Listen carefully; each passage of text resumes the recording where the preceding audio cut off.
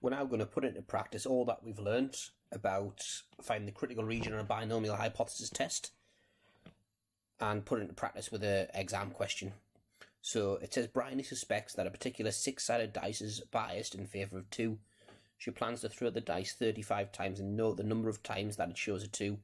She will then carry out a test at the 4% significance level. Find the rejection region for the test. Now this is worth 7 marks, which is a lot of marks. Um, and just finding the rejection region alone doesn't really warrant getting all 7 marks. Actually, and it's not stated in the question, but actually what you need to do to fulfill all the marking criteria here is to go through the process of writing down all the hypotheses and all that, go through the process of carrying out the test. And that's something that seems to be specific to the new syllabus. You've got to jump through more hoops to get the marks. So, yeah, unfortunately, it doesn't directly say write out the hypotheses, you know, state the uh, in words what the parameter we're testing for is, but unfortunately, that's just what you've got to learn that we've got to do to get the marks here. So now going through the process of carrying out a hypothesis test, we need to state in words what the parameter we're testing actually is. So in a binomial hypothesis test, we're testing P. So P equals, in this case, the probability a 2 is thrown.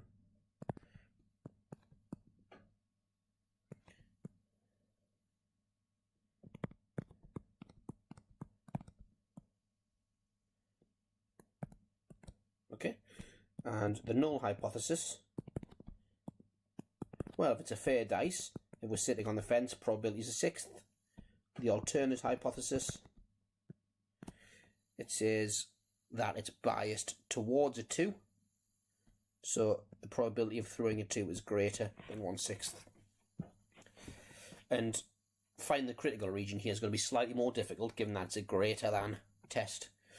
So she plans to throw the dice 35 times and note the number of times that it shows a 2. Okay, so the distribution we're going to use is binomial distribution 35 and the probability we're testing is a sixth. So what we need to do now is find the rejection region at the 4% significance level. So drawing our sliding scale of probability.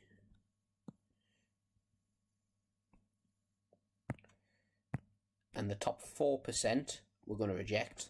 So 4% reject. And the reason that we reject this side of the distribution, the top 4%, is because we're testing for greater than a sixth.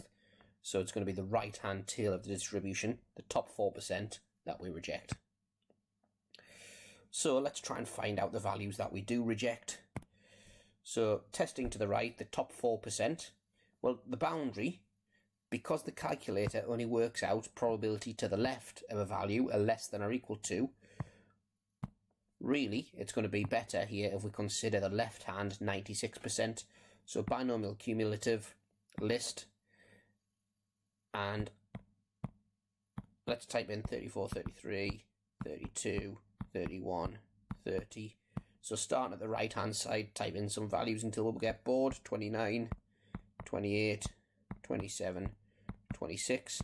Right, that's enough for now. Uh, 35 was the number of trials. And the probability of success was 1 divided by 6, a sixth. And we're looking for a cross over the 96% threshold and we can see we're nowhere near. Okay, so let's do a bit of experimentation. Let's put 20 in there. Is that getting anywhere nearer? Nope, still nowhere nearer. Okay. 18, 17, 16, 15, 14, 13. See if that's done it. Still nowhere near. 12, 11, 10, 9, 8, 7, 6. And this is very much a trial and improvement process. There we go. Between 10 and 9 is where it crosses over the threshold. So what I'm going to write is the probability that x is less than or equal to 10 is, let's hover over it and make sure we're rounded correctly, 0.9768.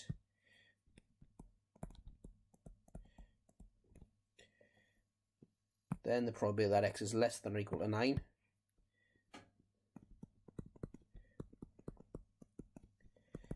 equals 0.9449. Oh, zoom back out again. 0.9449.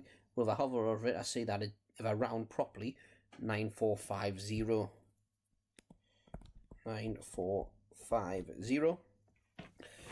But it's actually the probability to the right that we want. So if I do 1 minus each of these, I get, okay, so move this across here. One minus 0.9768 is 0.0232.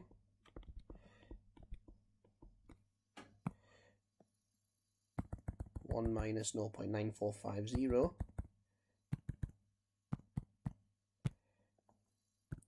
is 0.055. And what we've actually worked out here, 1 minus the probability x is less than or equal to 10, the probability x is greater than or equal to 11. And here we worked out the probability that x is greater than or equal to 10. That's what 1 minus the probability x is less than or equal to 9 gives us. So here, this one is less than 0.04, which leads to a reject. This one is greater than 0.04, which is an accept. And it's really important that you show a crossing over the threshold from accept to reject or vice versa from reject to accept. So now we can conclude that anything greater than 11, greater than or equal to 11 rather, will be rejected.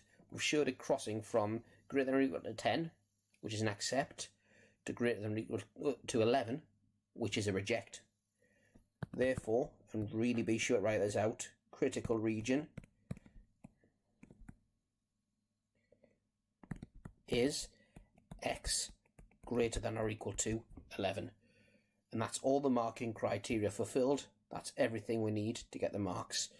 Let's just analyse the mark scheme though to make sure that we know that we are actually getting the marks. So here's the mark scheme here.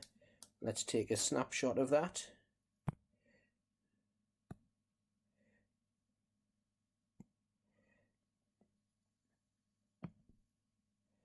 And put it just there. So here we see that one mark for h naught as p equals sixth and another mark for p greater than a sixth. However, it says we do lose one mark if we don't define p so if we don't define what P is in words, we can't get that second mark. So yes, there's two marks, and I only get that second mark because I've defined P in words according to the mark scheme. Right, binomial distribution 35 a sixth. Okay, that's another mark. Probability that x is greater than 11 is 1 minus the probability x is less than or equal to 10. Yeah, got that there then actually getting 0.055. Yeah, got that. 0.023. Yeah, there it is there. 0.04 uh, lies between these, fair enough. So the rejection region is x greater than or equal to 11. And there's one, two, three, four, five, six, seven marks gained. Ignore this last one, that's just a special case of a different method that you could have used that involves using the normal approximation to the binomial distribution, but not advised. We've gained all the marks in the best way possible now. So, for more videos like this, go to a or subscribe to the YouTube channel.